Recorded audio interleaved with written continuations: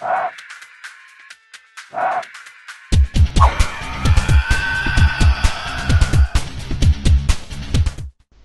guys, in this episode of Thylabites we're going to be re-examining the, the alleged thylacine footprint in the mud evidence and we're going to use the tools that we gave you in the Thylabite episode on identifying thylacine footprints to analyze that alleged evidence.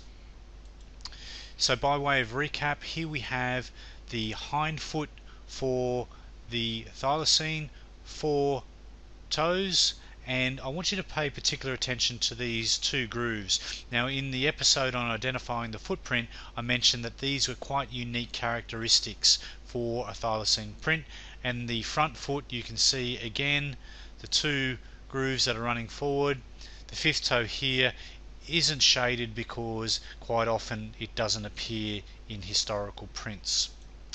So here we have it. This over here is the footprint in the mud found in northwest Tasmania about two years ago. So you can see the, the four prints, uh, the four paw prints here, and I want you to pay particular attention to this area here and this area here, okay?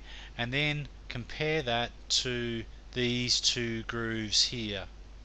Now these are characteristic grooves found only in thylacine prints and as you can see in the example of the dog print here. And whilst uh, Chris and Bill found footprints that were a very similar shape to this when they went to the beach they didn't find ones that had these two distinctive grooves.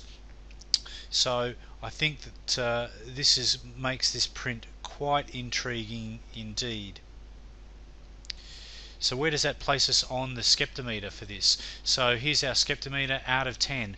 I think that if this uh, um, print is taken um, in 2012, 2013, I'd give it a 4 out of 10. So more than likely it's not a thylacine in my view, so it's probably a large dog. Uh, as strange as that might seem for a remote area, there are hunting dogs in the area from time to time, and uh, there's always a chance of a, a wild or a feral dog. If this print was taken in 1920, my skepto skeptometer for it would be 8 out of 10, saying that it would be most likely to have been a thylacine. Unfortunately, it was taken in 2011 and, uh, and not uh, sort of 1920. So that's my analysis of this print. Pretty intriguing, uh, a little bit of a slightly different angle to it than uh, previously uh, seen. Um, I'll let you make up your mind, perhaps put your assessment in the box below. That's it for this episode of Thylabites. See you soon.